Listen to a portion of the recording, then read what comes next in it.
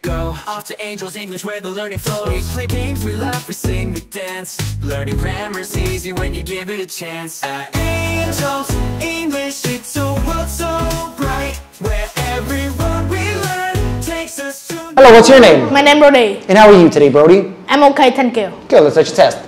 Look at the two pictures. There are many differences between the two. Can you please tell me three differences? In this picture, the sun is more In that picture, but in that picture, the sun is big. In this in this picture, uh, uh, has uh, has the waterfall, but in that picture don't have.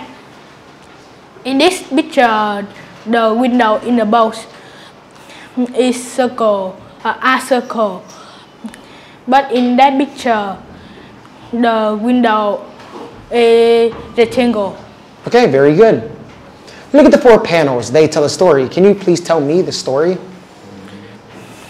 Fred and his grandfather is go to the city. They are happy. No. Fred is uh, taking photo the land street. They are happy.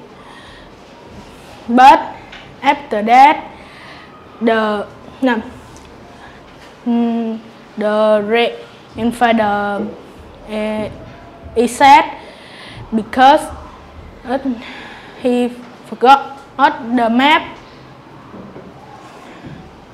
Okay, very They good. are uh, All right, this is called Odd One Out.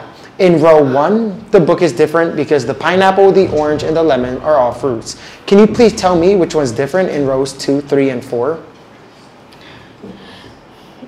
the picture tree is different because mm, the mm, in the picture one, two, and four, uh, they are biting. The picture two is, is different because in the picture one, three, and four, they are they are um, animals. The picture four is different because the picture one, two, three, they are cow. Okay, you did a very good job. You must have